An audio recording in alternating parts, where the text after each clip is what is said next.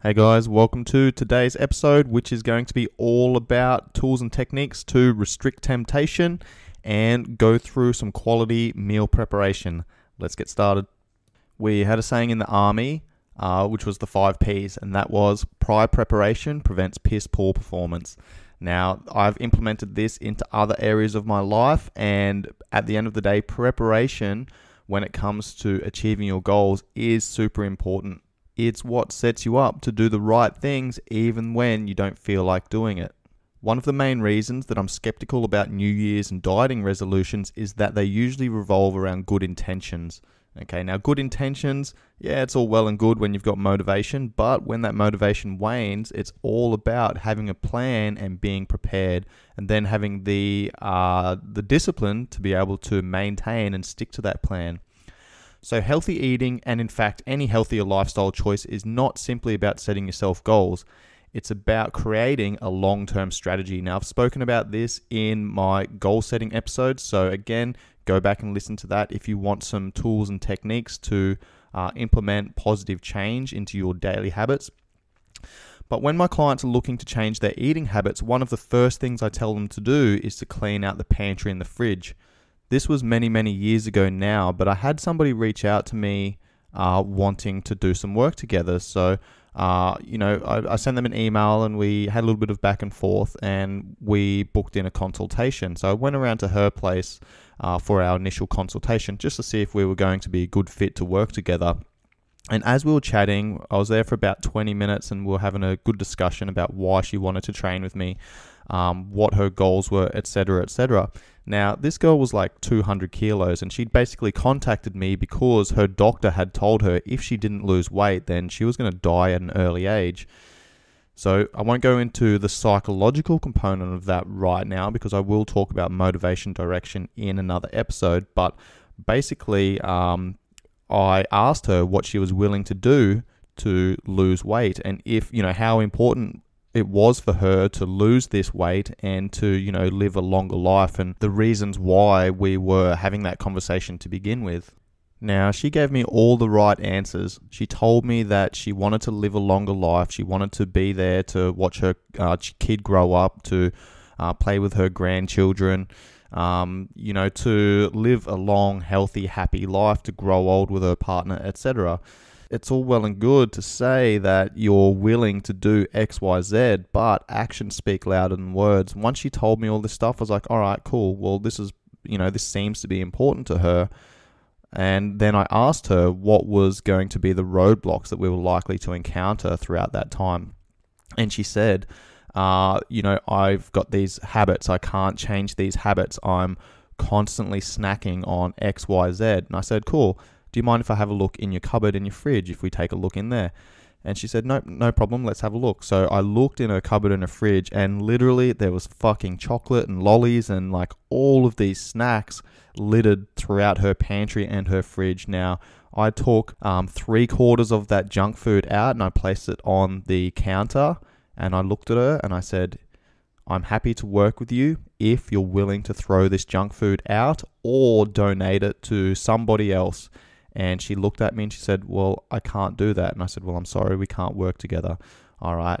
Now, that starts with the psychological and behavioral change. If she was not willing to do that, then it didn't matter how many training sessions that we worked together.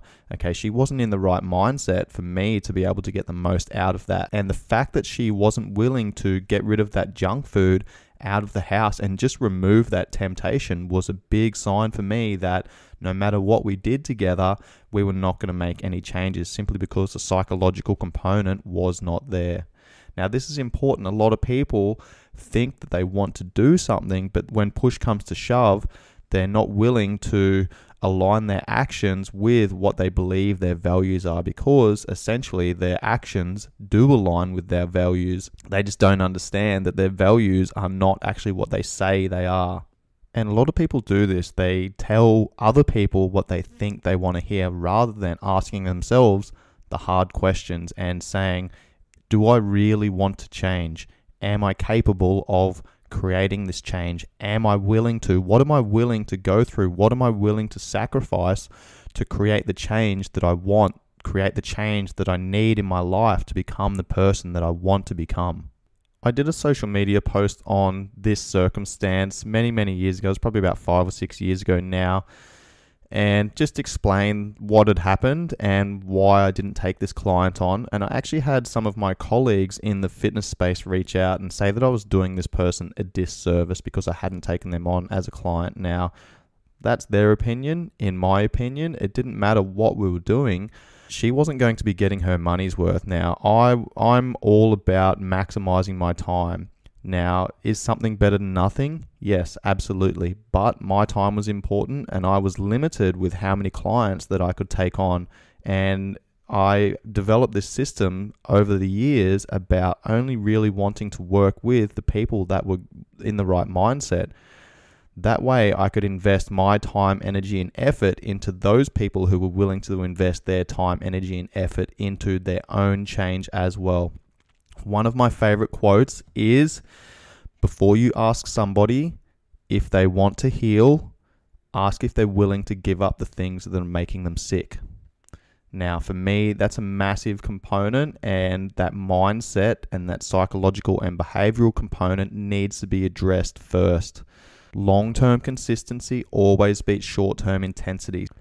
Now, I didn't just leave her high and dry, I simply said that I don't think we were a good fit, and I thought that she'd be better off working with another coach that would bring a different set of skills. I'm a holistic coach, I'm looking at all 24 hours of the day, and I need someone to have the right mindset and be willing to accept change before I can start implementing and working with them on the process. If you have temptations in the house that are going to sabotage your training and nutrition plans and your, your body composition goals, then you need to remove those temptations. My mates always used to laugh and joke and say that I was super disciplined around food and things like that. Okay, the fact of the matter is, I'm not super disciplined with food. It's just that I don't have shitty food in the house the part where I'm disciplined is more the fact that I just don't buy that food because I know if it's in the house, I'm just like everyone else. If I've got a block of chocolate in the house, it's not going to last more than a night. If I've got fucking ice cream in the house, it's not going to last. So, you know, I don't have massive um, amounts of discipline around having this food in the house and not eating it. My discipline comes from being aware that I understand that if it's in the house, I'm that temptation's always there and it's super accessible and it's super convenient. So removing that temptation and simply putting a barrier in place is an important technique for um, putting some processes in place that stop you from sabotaging your efforts. Now, I'm not saying that you need to remove all snack foods from your house, but simply being aware of what your domino foods are is an excellent way of addressing this issue. What are domino foods? These are things like Pringles. Okay, Pringles catchphrase is once you pop, you can't stop. So that's a domino food. If that's a domino food for you, then simply removing that from the house is going to have a massive impact on that. Now, domino foods are those foods that you just can't put down. Once you start, once you start a packet of uh, chips or Pringles or chocolate or something like that, you literally just keep smashing through them until you're finished. Those are domino foods. So removing those domino foods from your house is a great way of bringing your awareness to those foods that you can't seem to put down and you can't uh, stop once you get started. I'm not saying that you should never eat this stuff. It's more about just removing the temptation from the house. I'm a big advocate of, you know, feeding cravings when they come up as an exception rather than the rule. So if it's not in the house and I'm craving ice cream, for example, and this is something that I used to do when I was um, back home in Australia, I'd crave ice cream on, you know, f- fucking Sunday afternoon or something like that.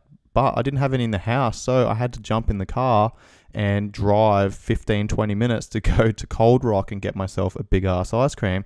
Now, the simple fact that I didn't have it in the house and I had to drive 15, 20, 25 minutes round trip to go and get myself an ice cream, for the most part, that was enough of a barrier to stop me from doing that. However, once a month, once a fortnight, I might have gone and done that, but you know, it was the exception rather than the rule. If I really wanted something, then I had to put some time, energy, and effort into doing that.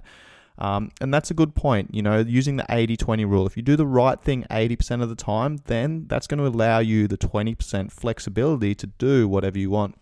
I used to laugh all the time when I'd, you know, I'd play rugby with the boys on a Saturday. And a Saturday afternoon, we'd go to one of our sponsors, which was a bar, and we'd sit there and we'd order chicken parmy and chips and, you know, a heap of uh, jugs of beer and sit, kick back and watch the footy and, you know, have a good time. And the boys would always ask me, I'm like, man, how do you, how the fuck do you stay in such good shape when you're doing this, when you're eating shit and you're smashing beers, etc., etc.? I'm like, well, you guys only see me for a couple of hours here. Obviously, I've played rugby today. I've burnt through a fuckload of calories.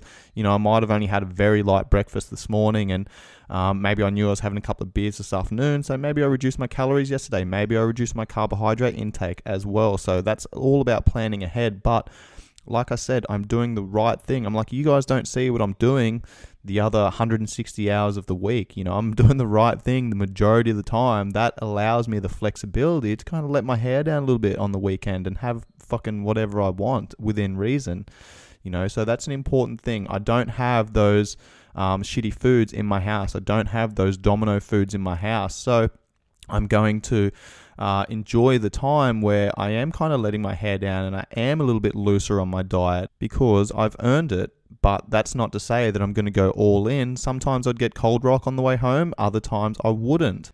And this is another good topic also is the all or nothing mindset with people thinking that, you know, they go out for dinner with their friends or their partner or whatever, they get the uh, they get the entree, then they get the main meal, then they decide to have the dessert, and they get a bottle of wine with dinner. Now, that could literally undo all of your work throughout the week all of the um, time, energy, and effort that you've put into creating, you know, an energy imbalance to push you in the direction that you want to go. So again, this is where that little preparation time comes into play. If you're going out with friends and you're following uh, some form of diet where you're looking to lose weight, you need to create an energy imbalance, then you need to plan ahead a little bit. Yeah, sure, go out with your friends, but simply go onto the website prior to going to dinner and have a look at some options that are going to suit you, that are going to fit your goals, that fit into your plan. All right, so you could say, right, I'm going to, I'm feeling like having this uh, entree. So it's a pretty heavy uh, entree. I might look at having a salad as my main meal for dinner. And, you know, I'm only going to choose one glass of wine or two glasses of wine rather than get rather than getting the whole bottle and dessert. So plan ahead and then prioritize and choose what's going to suit you, which fits in with your goals. Most restaurants these days have their menu up on the website, and a lot of them will have their caloric content and their macronutrient ratios, so you can get a pretty good understanding of you know what meal you want to hit, what your uh, caloric um, numbers are, or what your caloric allowance is for the rest of that day, along with where you might be lacking in some of your macronutrients. You can kind of plan ahead, have a look at what's going to be the best option for you, um, and, and give yourself a couple of options. So you might say, oh, there's these three options for entree that I might look at. I'll make a decision once I get there. Likewise, with the main meals and dessert and your alcohol, you know, don't choose everything choose your evils. Choose the one that you'd prefer to do. If you're going out with a partner for example then you know you might want to share a glass of or a bottle of wine together. So that means yeah let's probably not get the entree and probably not get the dessert. Rather let's get a massive or a decent sized main meal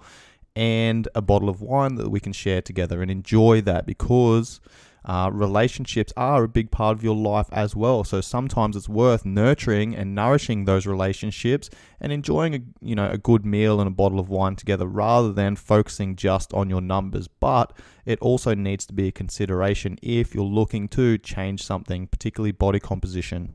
Another big piece of the puzzle, and also in aiding in restricting this temptation, is meal preparation. When you have food prepared at home, you're typically going to be much more likely to eat that uh, that food throughout the week than just falling back onto because most of the time people when they you know go and eat out or they make shitty choices it's because they don't have any food in the house and now they want something quick they want something easy they want something convenient so a little bit of time in going through meal preparation can again uh, remove some of those temptations and put some barriers in place that's going to allow you to be a little bit more consistent with your diet and kind of keeping on track with um, you know eating to align with what your body composition goals are So, what we're going to go through next is some tools and techniques that's going to allow you to plan ahead, shop in bulk, and go through some meal preparation to essentially set you up for the week so that when you are tired, when you do get home from work or the gym or whatever,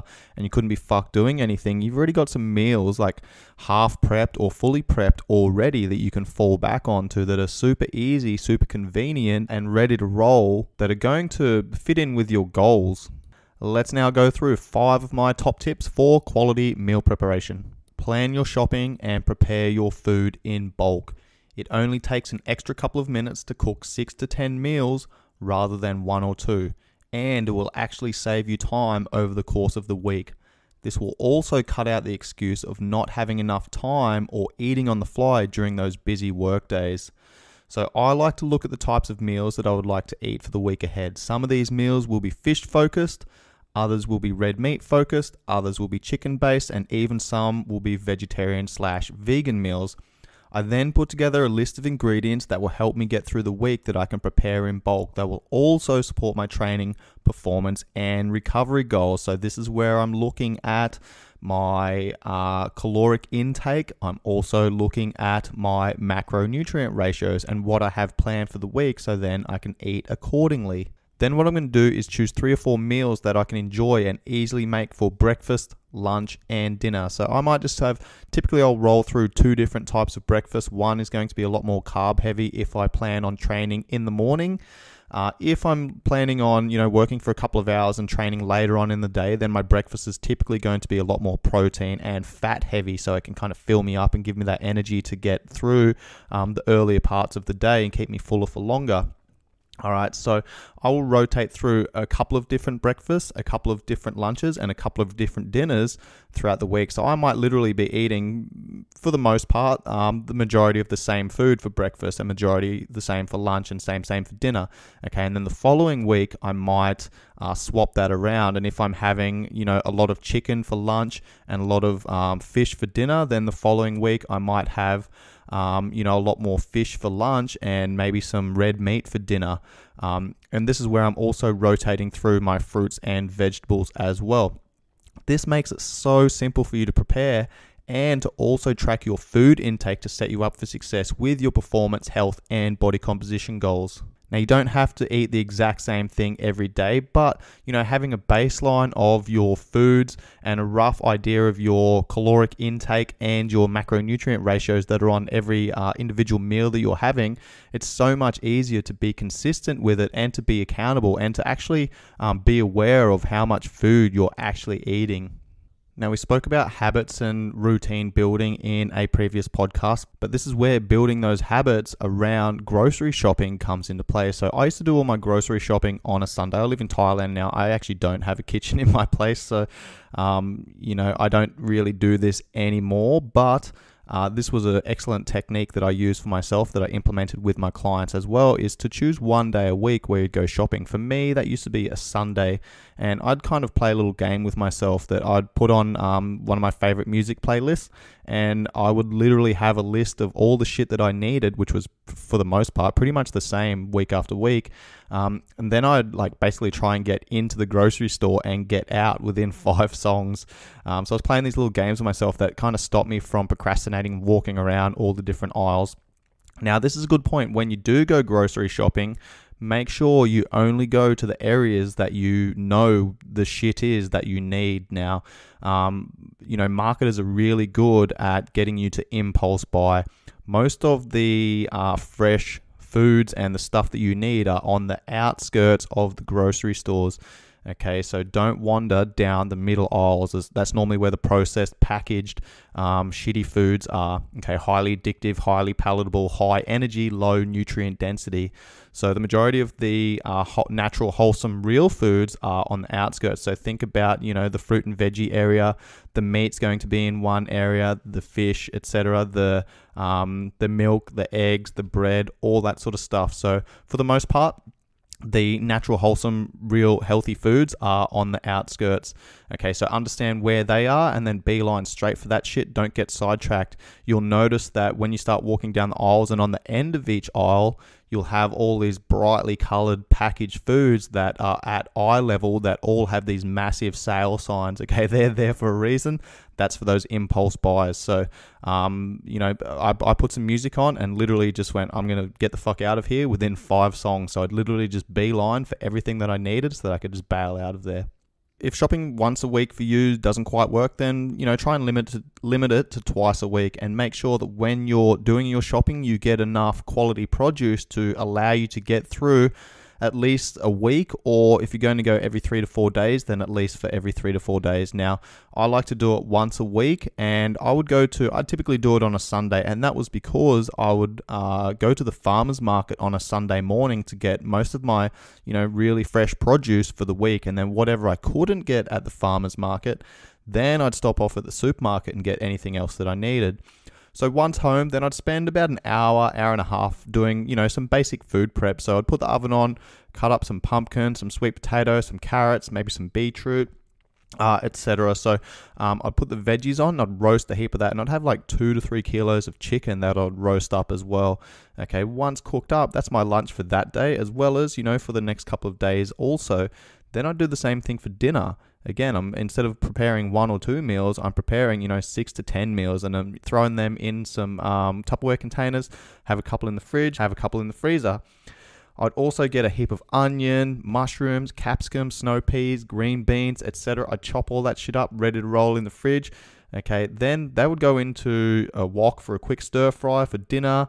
Um, or I might throw some of that stuff into my omelette first thing in the morning. So, you know, I'm covering my bases. I'm getting the colors of the rainbow. I'm getting my vitamins, my minerals in throughout the day. And the earlier you can incorporate fruits and vegetables in your diet throughout the day, the better because these, um, these fruits and vegetables are going to provide a heap of micronutrients, all of your vitamins and minerals that support all the processes that go on behind the scenes that are essential for optimal. Um, you know, functioning of all the different systems of the body. I do discuss this in a lot more detail in an upcoming episode, uh, but for now, just focus on getting some high quality foods in.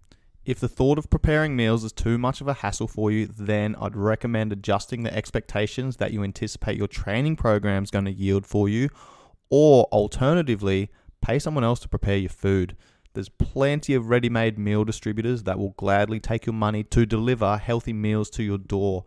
I've used these companies when I start getting really busy with clients and find myself short on time, or I simply get a little bit lazy. So it happens. Um, but if it's important to you, you'll find time or pay someone else to do it for you.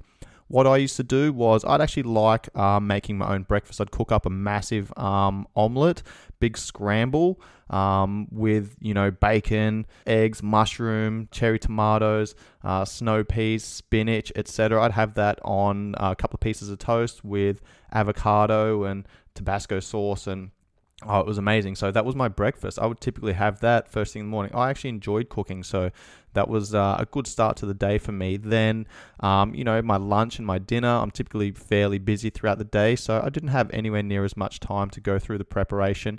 And if I hadn't done my preparation on the weekend because I'd been away hiking or, um, you know, whatever, then, uh, you know, again, I'd plan ahead and make sure that I had some food that was delivered on a Sunday afternoon or a Monday morning. And I might get, um, you know, two or three different meals for my lunches for four to five days and two or three different meals for my dinners for the four to five days. So, you know, I knew that I didn't have the time to do that because I was going away for a weekend to go camping or hiking or whatever. So I'd plan ahead, make sure my, my meals were delivered on a Monday morning to set me up for the week because I knew that I wasn't going to go through my typical grocery shopping on a Sunday.